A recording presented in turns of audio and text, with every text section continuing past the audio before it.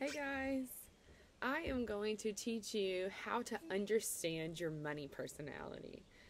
Yesterday, you should have taken a quiz about whether you are a free spirit or a nerd.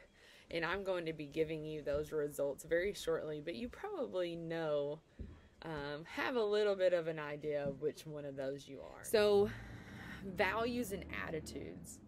How do your values relate to money? That's um, a question that is really matters depending on how you spend your money. How do those values relate to money? If if you value security, you're more likely to be a saver. If you value freedom and, and spontaneity, then you're probably more likely to spend. If you like to just go out and do stuff without having to plan that, then you probably aren't really going to be that great at organizing or even want to organize. Handling money, it's pretty difficult to balance who you are with what you should do. Being aware of your money personality will help you create a plan to accommodate both. When it comes to relating with others about money, it's important to also consider their values. They might be con- completely different than who you are, and that's going to change the way they look at money. So, men and women, typically we're pretty completely opposite. God made us different. God made us different, and and that's just how we were created. We are opposites. Some of our personalities may be the same, but typically men and women are going to be completely different. So, men and women generally approach things uh, um, differently, and, and money is one of those. There, we, we approach men and women approach things in different ways. Not all men and women will relate to money in this way, but there are some patterns that have proved themselves over and over again. So, in a second, we're going to talk about some of those patterns. But the flow of money in a family represents the value system under which the family operates. Money is going in your bank account should indicate what is important to that family. So, whatever you're spending your money on is probably the most important. And right now, as we're quarantined for the most part in our houses, we're probably spending most of our money on fast food. I know I looked at mine the other day and I'm so sick of eating at home that I, am continuously spending money on fast food. And I was looking at my bank account and it was like, it was like Chick fil A, Subway, Sonic. Like everything seemed to be, seemed to be food.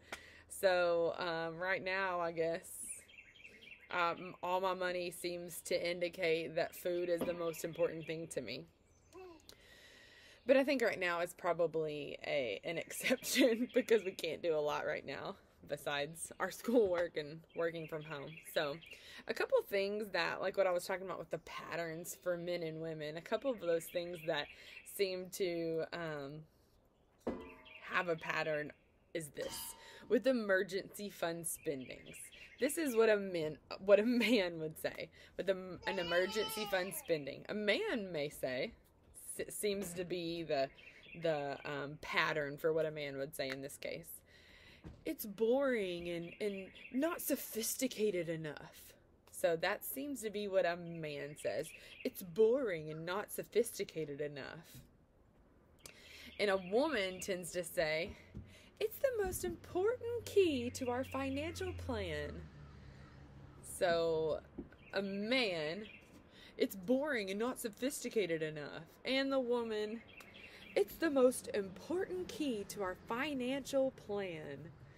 So, I feel like that's probably pretty accurate. It's kind of funny how accurate that is. When it comes to shopping, men are probably going to get good deals by negotiating. They're they're they're um, typically going to be pretty competitive, so they want to um, negotiate to get a better price. But with women, women are going to get de- good deals by hunting and hunting and hunting and hunting, and going to all these different stores until it may be hours and hours, but they are going to hunt until they find the best deal. And they enjoy that process of shopping. And then also financial problems.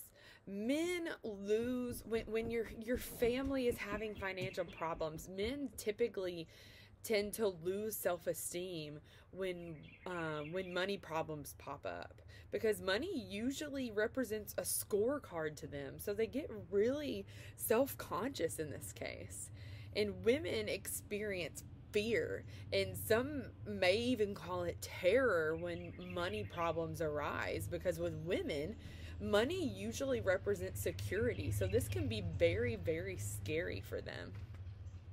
So that is um, understanding your money personality. And don't forget that I am going to give you your results for your quiz on whether you're free spirited or a nerd. And I would love for you to kind of guess before I give you those results to see if you are correct.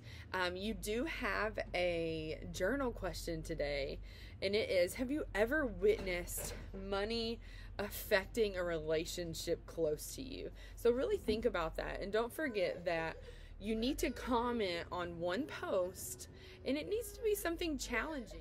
Don't just say, Hey, good post. It needs to be something like, hey um i'm sorry that that happened to you or, or that your parents are really affected by this money situation what did you do to encourage them?